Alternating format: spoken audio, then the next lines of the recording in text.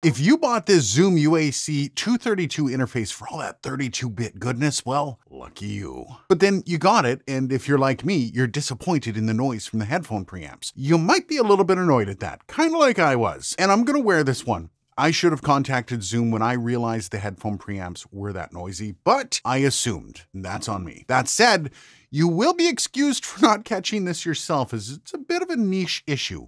But worry not.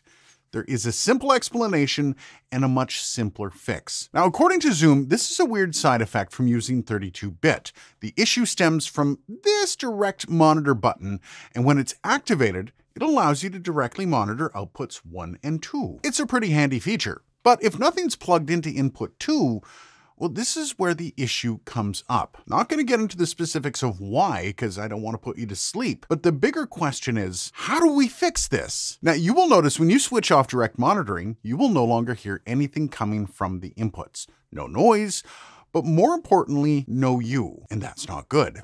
So you can fix this in a couple different ways. First, plug any microphone into the second output and voila, noise is gone. But then you might be thinking, well, that's a stupid solution, and you would probably be correct. You might not need two mics. So Aiden, what should I do then? Well, this will be the fix that most people will be employing.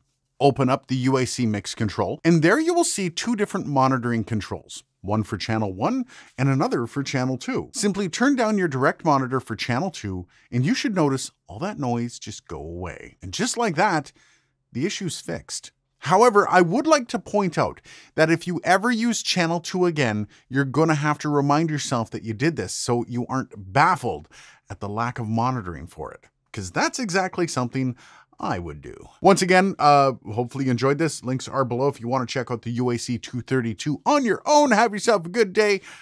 It's going to be a busy week this week.